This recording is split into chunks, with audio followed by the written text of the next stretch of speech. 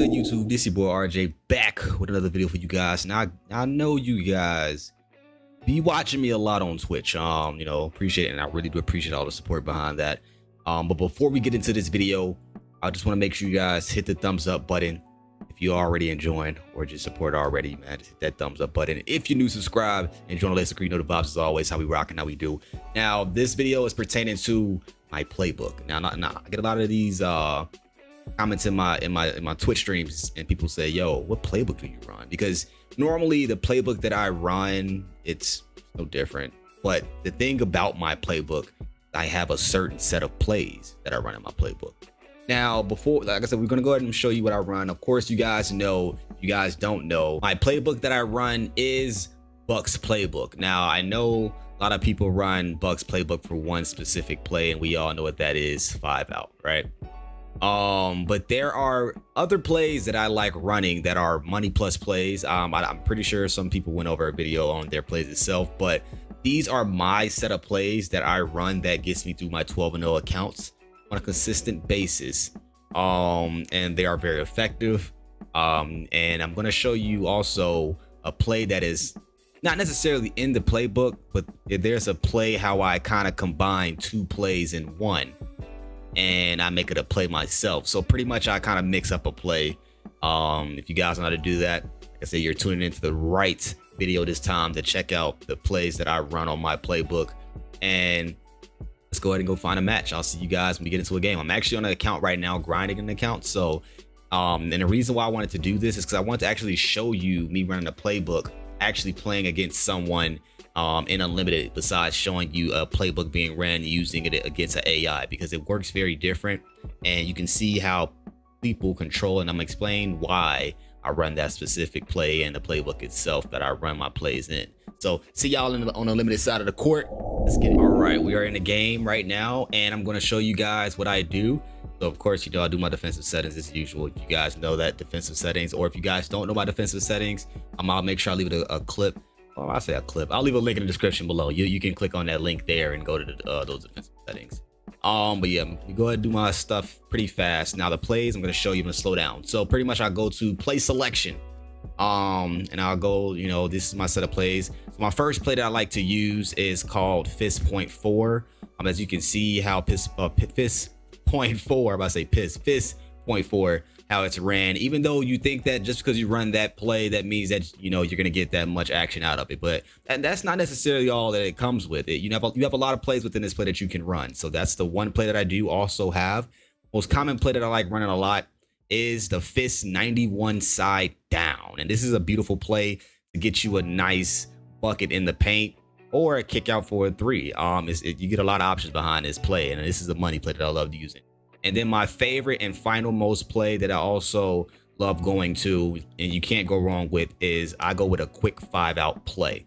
Um, you know, some people have their own ways of running five out. This is my five out play that I like run running a lot, and I get that money play off with, which is quick five out. So I'm gonna show you each and every single one and how it works, and um, and you know let's go ahead and get into it like i said before bro a lot of people go in just running free uh freelances and not you know they don't have a set amount of plays that they run in general. So at the end of the day it's like you know get you some plays bro. If you get you some plays I'm, i'll guarantee you you'll come out to be a better player just running the same play of a five out every single time.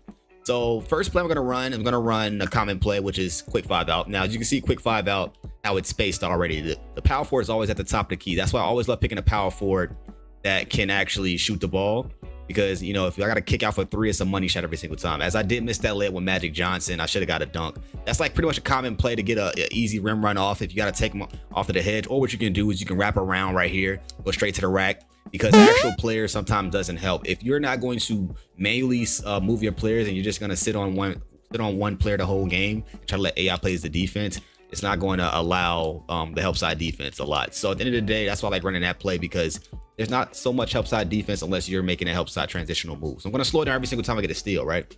So, uh, you know, we're going to check out five out, uh, five out one more time so you, so you can see, you know, everybody spaces out the court. You know, I can rim run past him every single time. He's not going to send no helper. You know, he's just going to drop back because guess what? If he was to drop back with that player that's on Giannis. I'm kicking that to Giannis, and we gonna shoot a three with Giannis. Best believe that. But I do have Lamar Odom on the bench that has range extender, so that's the reason why I say pick a power forward because that at the top of the key right there, the power forward's always ready to go for, to take that shot. Next play we're gonna run is fist 91 side down. Now this is the double screen at the free throw line. What you can do is just go across right here, go straight to the rack, or you can kick out to a midi right there, take the shot. He jumped underneath the paint. I'm just gonna reset it. Go to my spot right here position. Watch the double screen right here. Now we're gonna cross on both of these.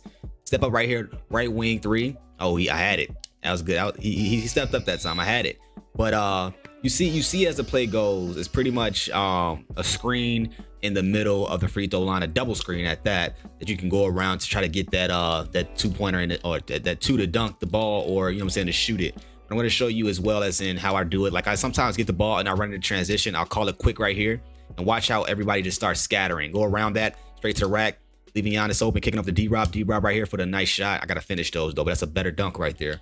So like I like running my plays in transition as well. Besides, because like sometimes if you set it up does it work for you? It can definitely work for you beautifully every single time. But sometimes if you get the rebound and then call your play early, hey, it's better to run that play fast in motion. So like this time, I'm gonna call a five out. Now watch this. Call a five out. Let's go. Let's let's do it in fast pace this time. Fast pace action. Step up. Somebody's open the top. You know what I'm saying? Right corner. That's a green money team bang right there because he's trying to play off ball. But if you see he, him helping with a specific player, you do have that drop down to Giannis at the top of the key. If they're helping down, you know, down low, to try to help on the uh, inside of the paint, you got that right corner or that left corner gonna be ready to shoot that ball to go.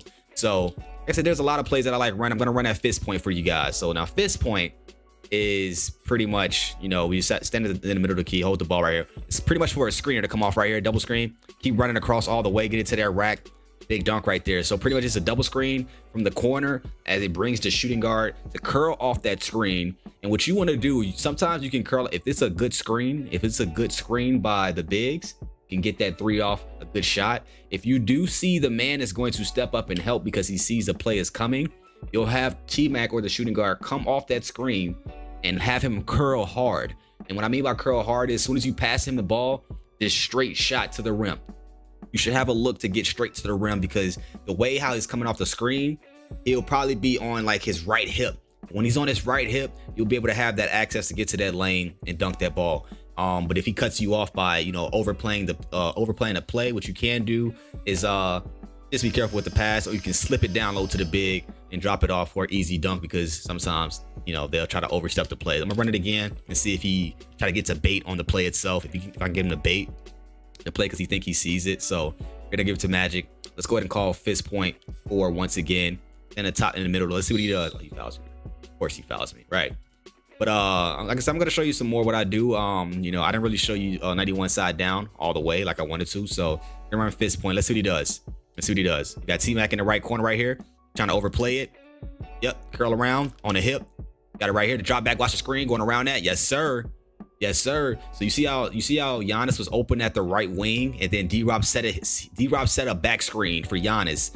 All you gotta do is go around that back screen at a dunk right there because he didn't, you know, he didn't switch defense. So let's go ahead and run uh 90 uh, fist 91 side down this time one more time. As I'm gonna go around, you know, we, we got we got we are in our position, which is going to the right wing right here.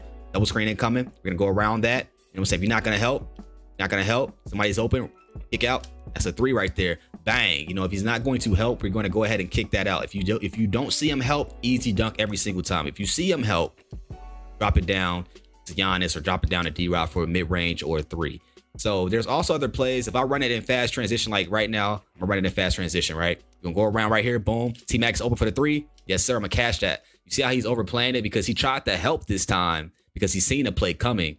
So he tried to help and step and step up in the paint to try to cut me off um, I think he had Chris Mullin right there, and I was able to control that and get that three off with T Mac.